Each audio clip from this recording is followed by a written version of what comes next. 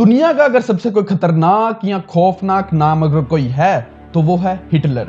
इस नाम से आप में से बहुत सारे लोग जो है ज़रूर वाकिफ हो गए क्योंकि ये वही शख्स है, ये वही बंदा है, ये वही हिटलर है जिसने दूसरी जंग अजीम शुरू की थी और दुनिया इसके नाम से डरती थी। ये वही हिटलर है जिसकी वजह से दूसरी जंग अजीम शुरू हुई और तकरीबन पाँच करोड़ से ज़्यादा लोग मारे गए। आप लोग हैरान हो जाओगे ये सुनकर कि बहुत सारे फिजाई हथियारों के डिज़ाइन, एटम बॉम्ब का डिज़ाइन इस ही की लेबोरेटरी में तैयार किए गए। तो चलिए वीडियो को शुरू करते हैं कि मिस्टर हिटलर कौन था। तो चलिए वीडियो को शुरू करते हैं।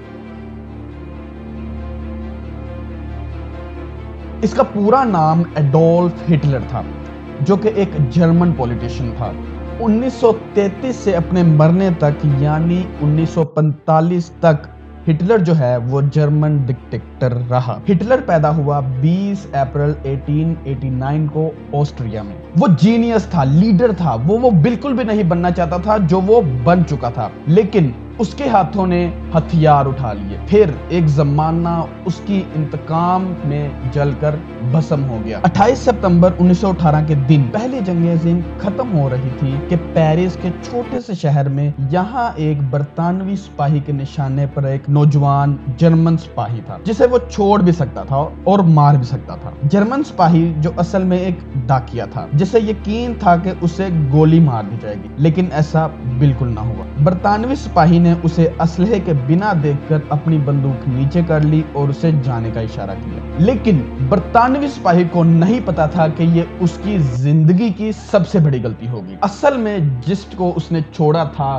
वो था हिटलर अडोल्फ हिटलर, जिसने दूसरी जंग अजीम की शुरुआत की और तकरीबन पाँच करोड़ से ज़्यादा लोग मारे। ये रहा हिटलर, लेकिन दुनिया इस तरह के हिटलर को नहीं जानती। ये इमेज जो है हिटलर की कभी भी देखी नहीं गई। यानी इस बंदे की बड़ी बड़ी मुझे हैं यहाँ पर। हिटलर को इस तरह कोई भी नहीं जानता। लेकिन जब बरतानवी फौज ने जर्मनी के खिलाफ जहरीली गैसेस इस्तेमाल करना शुरू की तो इससे बचने के लिए सबने मास्क चला लिए। लेकिन हिटलर की बड़ी बड़ी मूछे होने की वजह से मसला खड़ा हो गया। इसकी मूछे मास्क से बाहर आ जाती थी। फिर हिटलर ने मास्क के हिसाब से अपनी मूछे कटवा ली। फिर अब ये वो चेहरा है जिससे सारी दुनिया वाकिफ है और जिस चेहरे को सारी दुनिया पहचानती है, ये है अडोल्फ हिटलर पहले जंग अजीम के हमले में हिटलर की आँखें बहुत ज़्यादा मुतासर और वो अंधा हो गया। लेकिन इलाज के बाद हिटलर की आँखें ठीक हो गई। आँखों की रोशनी तो लौट आई, लेकिन साथ ही साथ जर्मनी के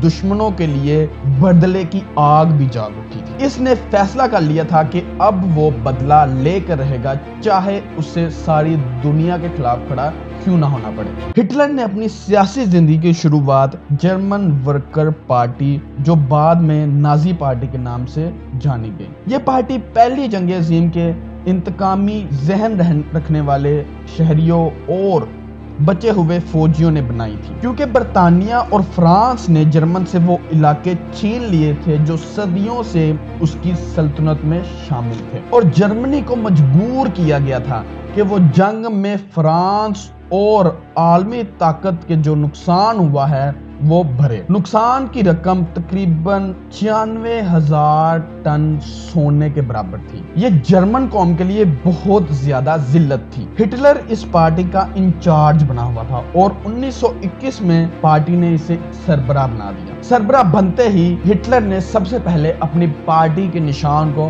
मंतखब किया। ये था वो निशान जिससे हिटलर ने तबाही का निशान बना दिया था। नाजी पार्टी जो थी वो एक मकामी सतह की पार्टी थी। इसमें जान तब आई जब पहली बार जंगे अजीम का हीरो सबक जनरल एरिक लेनर्ड इसमें शामिल हो गया। इसने जंग में रशिया के फौजियों को धूल चटाई थी। लेकिन जब बरतानवी फौज मैदान में आई तो एरिक जो था, वो हार गया। अब इसके शामिल होने से जो था, हिटलर बहुत ज़्यादा मज़बूत हो चुका था। अब वो जर्मनी में इनकलाब लाना चाहता था। इसलिए इसने ऐसे के नाम से एक तंजीम कायम की। इस तंजीम का जर्मन नाम का मतलब था अटैक डिवीज़न। इन सबसे हल्फ लिया गया कि वो हिटलर के नाम पर मर मिटेंगे। अब हिटलर इनकलाब का मौका ढूंढ रहा था और ये मौका उसे रूहर ने दिया। रूहर जर्मनी में एक इलाका है। इस एरिया में कोयले की खाने और फुलाद की फैक्ट्रियाँ हैं। जर्मनी जब आलमी तबाही का हरजाना ना भर सका तो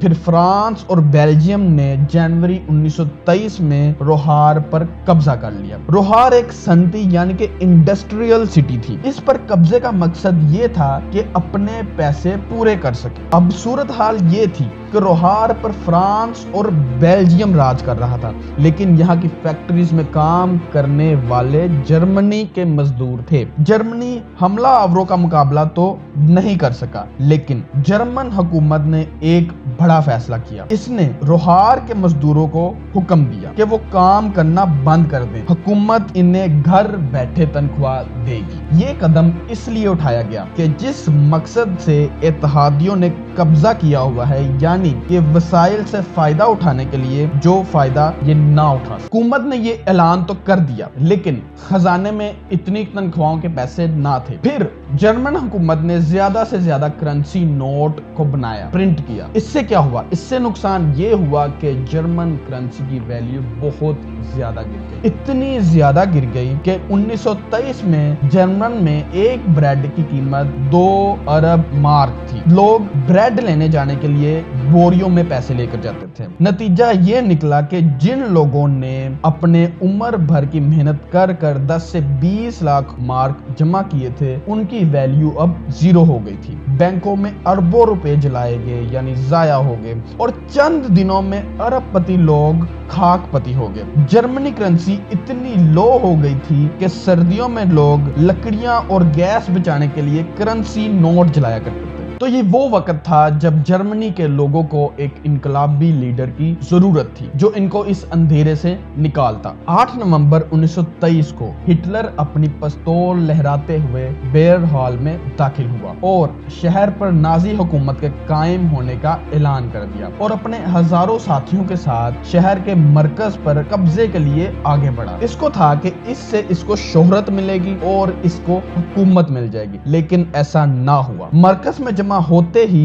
हज़ारों जर्मन पुलिस ने लाठी चार्ज कर दिया। जवाब में नाजी के कारकुनों ने भी फायरिंग कर दी। चौदह नाजी और चार पुलिस वाले हलाक हो गए, लेकिन मैदान पुलिस के हाथ में रहा। यहाँ क्या हुआ?